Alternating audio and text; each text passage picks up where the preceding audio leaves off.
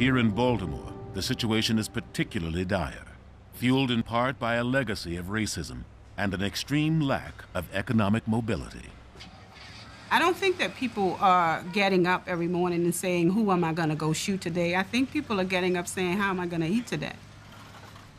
And if someone prevents them from doing what they think they have to do in order to feed themselves and their families, there's a ripe opportunity for violence. Baltimore City has seen 250 murders so far this year. Once violence starts, it spread. You can see the gun in his left hand. The gunman is still on the loose here in Baltimore. When you kill this person, brother, then they want to retaliate and they want to make somebody feel the pain that they felt. So they become shooters and killers it's like a it's like a demon. It's, it's spread from souls to souls. Without the resources to fix the underlying problems, this neighborhood is turning to an innovative intervention to reduce violence. With respect to violence, we're stuck in the past. Our thinking now is medieval. We're blaming people, not understanding what's going on actually not applying approaches that have been shown to work. For epidemiologist Gary Slutkin, those approaches are based on data. After returning from over a decade fighting infectious diseases in Africa, he recognized a distinct pattern. I'm looking at a graph of violence that looks exactly like the graph of cholera. I'm looking at the map of the clustering of violence. It looks exactly like the mapping of AIDS. So I'm like saying, oh my God, you know, this is I, exactly like every infectious disease. And just like a disease, under certain conditions, violent acts are contagious. One case of violence causes more cases of violence, just as one case of flu causes more cases of flu. So could the same methods used to fight infectious diseases also stop shootings? The shootings that we have had, most of them, these two that's inside here. That's an idea being tested at Baltimore's Safe Streets, one of a growing number of programs adopting Slutkin's approach. It's just a lot of shootings going on in the neighborhood, so we was really trying to get to the bottom of that. The starting point in any epidemic is to detect where the next event might occur and interrupt the exposure. So what are we going to do today for canvassing? I mean, there's been a lot of things going on in the neighborhood, so I'm going to just take a tour. To do that, Slutkin created a new type of public health worker, a violence interrupter. A violence interrupter is basically a health worker who can know what is going on and find where an event might be likely to happen and then prevent its progression. So you're cutting off the epidemic spread itself. The first step in fighting any epidemic is to identify the initial outbreaks, the so-called hotspots. The red dots are the firearm homicides, and the yellow dots are the non-fatal shootings. So if we map out all of the violence in the area, then we can sort of see like, oh, there's a cluster up here on the right where the SASH should be focusing on. Maybe down here on the left, there's another little area that we tend to see more violence happening. And then we base our program decisions on that data. Once the hotspots are pinpointed, the violence interrupters are deployed. Lately, there's been a lot of activity in the community, so we just coming through, try to make sure everything at peace. This team works in Park Heights, one of the most dangerous neighborhoods in the city. Most of the violence is, is spontaneous, so we just try to do our walk so we can be there to try to catch it. What really make the program is the guys that's out here doing the footwork, doing the groundwork, because it's our credibility that really keep the peace. We just try to getting everybody hears and everybody mind and let them know the shootings and homicides are not normal. This is not normal for somebody to lay right there with five and six bullet holes in him and he's dying and they ain't normal for kids to see.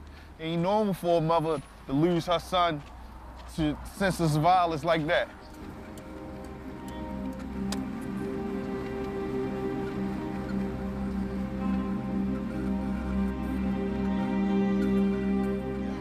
Steve Diggs, better known as Pepe, knows these streets. I'm born and bred Park Heights. I've been here my entire life. If you drop me in the ocean in the middle of the night, I'll start swimming towards Park Heights. and he knows all about the violence. I fell in love with the streets. The whole lifestyle of girls, money, the respect that you get in the neighborhood, you know, all the way down to the part where I had to bust somebody in the head. Disrespecting me could get a person beat nearly to death. Has gotten people beat nearly to death. I had to sit in jail for 10 months because I beat a guy nearly to death. I was that person for 30 years. I had to let that person die and create this person right here. That's what qualifies all of us to do this. You walk the walk, you talk to talk. You qualified to intervene. She told me that she was going to the police station and fill out a report on you. For what? I didn't do anything to her. And Today, Pepe is following up on a violent altercation. I couldn't understand how I got that Look at my in the face. first place. She beat me in my face, kicked me in my back. I felt a threat. All right, She's I'm going. yelling, belligerent. We, we're gonna do it one at a time, okay? You went to me like this. No, uh-uh. Yes, you did, and then that's when I blacked out on you. You was be honest with pummeling me. All right. Because you're Hey. trying to grab stuff. I don't know what you're I'm doing. grabbing my See? phone. See how you doing? Right Remember? now, y'all not listening to each other. I know, but You're not hearing nothing she said because you She so ready to talk back. Maybe it's Absolutely. something All else. I would have to Ridiculous. leave. I don't have a problem. Regardless, I'm going to leave because I feel out of place. Even though I knew they wasn't listening to each other. I think it was very helpful because they feel like they vindicated. For them to be able to do that on their own, they wouldn't have been able to do it because it would have just went on and on and on until one of them threw a punch. Women fight way differently from men. Guys, they run for their knife or their gun, which is so sad. Later, Pepe is dispatched to defuse a potentially deadly dispute. Unfortunately, we live by the gun around here, man. They The man bad- Pepe is talking to says that two nights ago, he ordered a revenge killing. But his guys shot at the wrong person, and now that person wants to take revenge.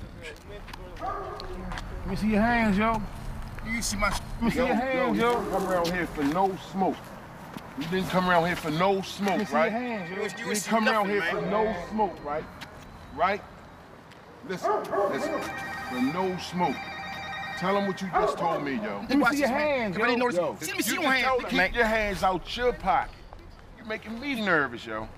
What for this dude here, man, I'm gonna tell you something, man. Would have go a lot different in this fight. And I know that. I And know who you know is. won't I know who you again is. Because I'm not with none of I'm right here. That's how you know it's not gonna happen again, right? You If did the it's- same if thing, it- though. You I'm right, I would get the same thing. I would get the All same. right, okay. Now we got common ground. We got common ground. You with her. Can we agree that you apologize, yo? Absolutely. I'm gonna accept that, Yeah, man. man. But I'm gonna tell you this, man. You don't come back from that death. It ain't no coming back from that. Yeah, fall don't up shake this his hand. you know I what say I mean? don't shake his hand. I mean, like, wash it, yo. Do all of Man, I'm gonna just leave this be, man. Facts, yo. Facts. It's a hell of a mistake to make. We are guys right directly in these neighborhoods that can bring these two guys together in the midst of their anger, their hatred, and their want for revenge, and bring about a peaceful resolution. That's a big part of what Safe Streets do.